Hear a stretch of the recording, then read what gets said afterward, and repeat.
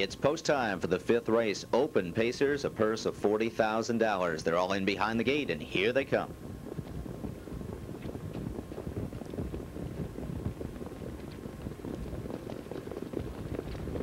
And they're off. Landmark Hall and Artesian are both charging out of there. Casimir Camotion flashing speed as well. And Mini-Me is protecting the rail, so these four are under the gun early. And Casimir Camotion leads them onto the opening turn. Twin B Gambit has come out racing in fifth. Hollywood Sam away smoothly, sixth on the inside. Sagebrush has settled seventh behind him. Eighth is Peruvian Hanover. And at the back is Your Boy, who is the trailer. And Landmark Hall is working his way to the front well before the opening quarter. It's Landmark Hall at 27 and 2 for that front panel. In behind him now is Casimir Camotion, who's racing in second. Mini-Me tracking the top pair in third. The whip up on Artesian, who's content to follow so far. Twin B Gambit races in fifth. Hollywood Sam trying to get some cover flow going. Sagebrush following him all the way, and Mark Harder takes a shot with Twin B Gambit. He's tipped out first over, beginning to work closer. Off the rail, Peruvian Hanover is eighth, and ninth is Who's Your Boy, as Landmark Hall gets a bit of a breather here. The half up in 55 and 3.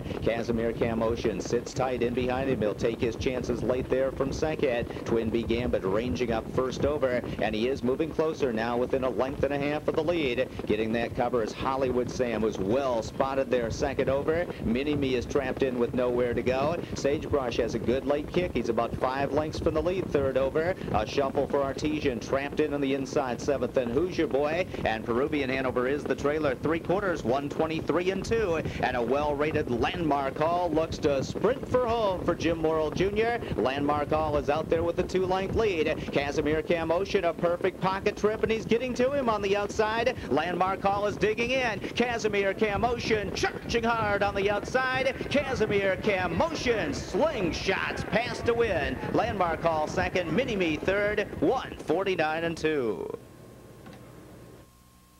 stable as he trains and drives a pair of 150 or faster winners. Number five, Casimir Camotion takes the fifth race open pace in a career best of 149 and 2. A Camluck four-year-old gelding out of Adulation by Direct Scooter. He's owned by M&M Harness Racing of Suffern, New York. Pat LaChance trains and drives. Casimir Camotion, fifth win of the year, the time 149 and 2. In the winner's circle from the Saddlebrook Ladies of Unico, Janine Reingout, Lucy Di Bueno, and Teresa Kelly to make the trophy presentation to the official fifth race winner, number five, Casimir Camotion. And the five, Casimir Camotion, returns 1020, 480, and $3. Finishing second, number seven, Landmark Hall, $3 and 240, and third, number one, Mini-Me, 340 to show.